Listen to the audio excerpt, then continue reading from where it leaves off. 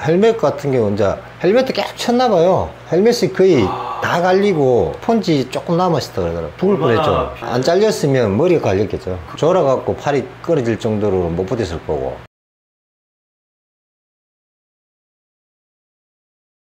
안녕하세요. 장사 이야기 하는 남자 장사 권프로입니다. 얼마 전 특별한 사연을 가지고 계신 분을 제가 만나고 왔는데요. 제목에서도 보셨겠지만 바로 한팔을 잇고 창업을 한 46세 자영업자 김효영 씨입니다. 이분은 선천적인 장애를 가지고 계신 분은 아닙니다. 일반 사람들과 똑같이 생활을 하다가 돌연 사고를 당해서 한 팔을 잃은 건데요. 보통 우리 사회의 시선을 보면 장애인에 대한 측은한 마음, 동정심, 그리고 그런 부분들에 있어서 달갑지 않게 생각하는 사람들, 참 많은 이견들이 함께 공존을 합니다. 당연한 사회 이치라고 생각도 듭니다. 장애인이라고 모두가 다 불쌍하거나 아니면 그들을 꼭 도와줘야 된다거나 그런 생각들을 누구나가 다 가지는 건 아니기 때문이죠. 인정할 수밖에 없는 부분이기도 하고요. 제가 만난 김효영 씨는 장애를 딛고 창업을 한 경험을 갖고 있기 때문에 개인적으로도 관심이 갔었고요. 그리고 실제로 만나서 얘기를 나눠보니까 많은 분들에게 귀감이 될 수 있는 그런 이야기라서 제가 오늘 짧게 소개를 드려볼까 합니다. 사실 조심스러운 부분이 많아서 제가 그간 인터뷰 요청을 해놓고 좀 생각을 많이 했는데요. 제가 어떠한 부분에서 고민을 했는지는 아마 여러분들도 다 잘 아실 거라고 생각이 들어요. 그런 저에게 김효영 씨가 작은 용기를 줬습니다. 본인은 아무렇지 않다고 말이죠. 그 어떠한 악플이나 뭐 장애인에 대한 따가운 시선, 그리고 동정심 등 여러 가지 의견에 있어서 본인은 전혀 개의치 않다고 저에게 그렇게 용기를 주셨습니다. 지금 많은 힘듦을 겪고 있는 자영업자분들, 그리고 자영업을 하고 계시지 않는 분들이라도 이 김효영 씨의 이야기를 들음으로써 조금이나마 힘을 내는 계기가 되었으면 합니다.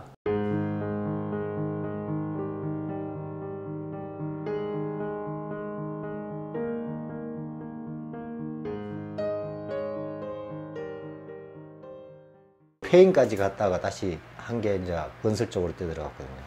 그가 사고를 당한 건 지금으로부터 4년 전의 일입니다. 당시 건설 쪽 현장 일을 하고 있던 그는 조금 더 많은 돈을 벌기 위해서 정규 근무 시간 이외에도 추가로 오더를 받아서 일을 종종 했었습니다. 돈은 당연히 정규 시간 이외에도 일을 했었기 때문에 적지 않게 벌었지만 그의 몸은 그를 그렇게 따라가 주질 못했습니다. 3일 내내 철야를 하고 오토바이에 몸을 맡겨 집으로 돌아오는 길 자기도 모르게 잠이 들고 말았던 거죠. 그리고는 중앙 분리대에서 자기 팔이 잘려 나갈 때까지 그는 아무런 기억이 없었다고 합니다. 네, 잠이 든 김효영 씨의 왼팔이 중앙 분리대에서 다 갈려져 나간 겁니다. 헬멧도 계속 쳤나 봐요. 헬멧이 거의 다 갈리고 사고 당시 김효영 씨가 기억이 나는 건 깨어보니 극심한 고통과 떨어져 나간 팔 그리고 팔과 같이 갈려버린 헬멧 뿐이었습니다. 헬멧 역시도 너무나 많이 갈려져 나가서 내부 보호제였던 스티로폼이 다 보일 정도였다고 하니까 상상만 해도 얼마나 끔찍한 사고였는지 짐작이 갑니다. 그는 병원에서 수술 직후에 깨어나서 어떤 생각이 들었는지 좌절감은 없었는지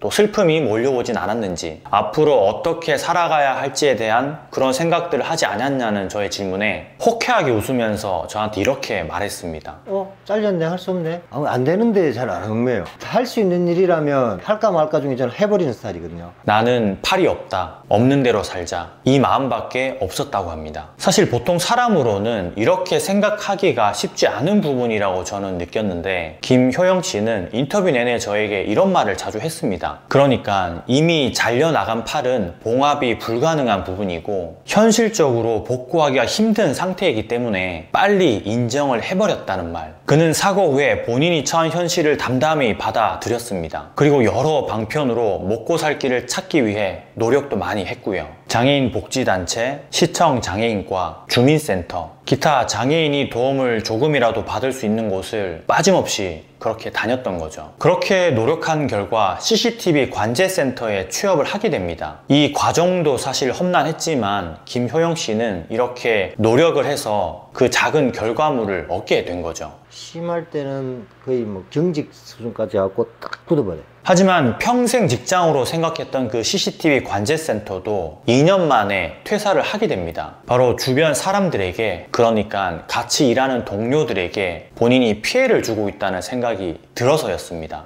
김효영 씨는 그때 당시 환상 통증이라는 것을 꾸준히 겪고 있었던 상황이었는데 환상 통증은 몸의 한 부위나 물리적으로 신체가 없음에도 불구하고 감각을 느끼는 것 때문에 통증이 오는 것을 말합니다. 그런 통증이 주기적으로 오는 김효영 씨는 근무 중에 그 고통을 참기 위해서 입 밖으로 새어나오는 고통의 소리 그리고 자기도 어쩔 수 없이 몸을 움츠러들게 되는 몸부림 이런 것 때문에 주변의 동료들이 피해를 입고 있다고 생각을 한 겁니다. 그렇게 퇴사를 하고 그는 또다시 일자리를 찾기 위해서 여기저기를 많이 다녔었는데요. 참 쉽지 않았다고 합니다. 이 환상 통증도 그렇고 팔 하나가 없는 장애인이 할 수 있는 일이라고는 크게 없었기 때문이죠. 저게 제 나무 인생 계기예요.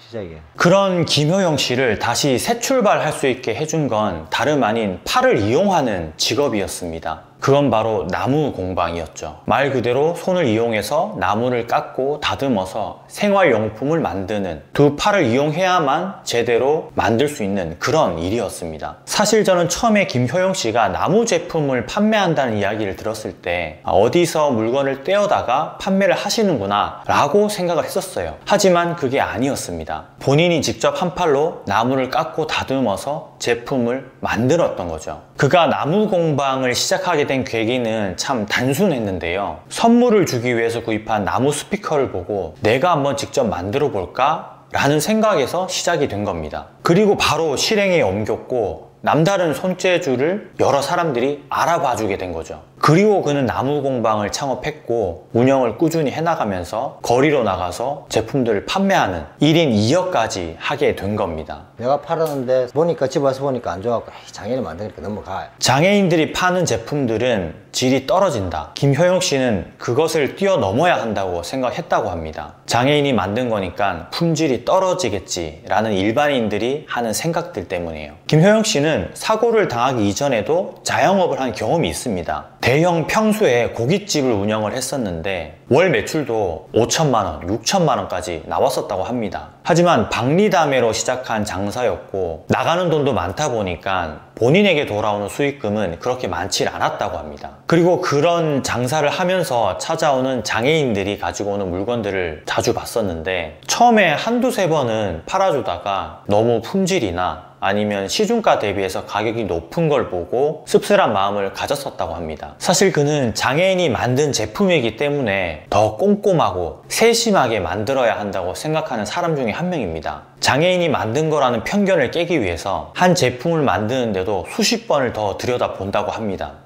장애가 네. 좀 몸은 힘들 수 있어요. 네. 그런데 포기만 하지 않으면 네. 장애는 절대 내가 살아가는데 지장은 안 된다. 그는 인터뷰 도중 내내 저에게 포기라는 단어에 대해서 굉장히 강조를 많이 했는데요. 사고로 인해 잃은 팔, 그리고 현실을 직시하고 포기하지 않은 삶, 주변의 시선을 두려워하지 않고 한 손으로는 불가능할 거라는 많은 사람들의 얘기를 뒤로하고 그는 나무 공방을 창업했습니다. 김효영 씨는 오늘도 장애인에 대한 편견을 가진 사람들에게 의식의 변화를 주기 위해서 정상인들이 만든 제품보다 더 꼼꼼하게 그리고 더 세심하게 훨씬 더 멋들어지게 나무를 깎고 다듬고 있습니다. 장애인이 만든 거니 그냥 넘어가 라는 말 대신에 장애인이 만든 거라서 역시 다르네 라는 말을 들을 때까지 말입니다. 안녕하세요.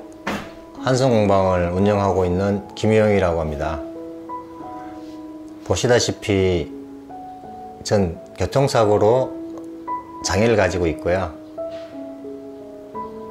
장애를 가졌어도 포기하지 않고 열심히 노력해서 지금 현재 작, 작지만 저만의 공방을 하나 꾸려가고 있습니다. 음, 이걸 보시는 자영업자분이든 다른 모든 힘든 분들은 저를 보시고 조금이라도 용기와 희망을 가지셨으면 합니다.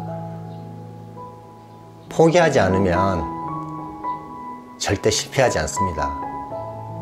힘드시더라도 포기하지 마시고 열심히 마신다면 좋은 결과가 있으리라 생각합니다.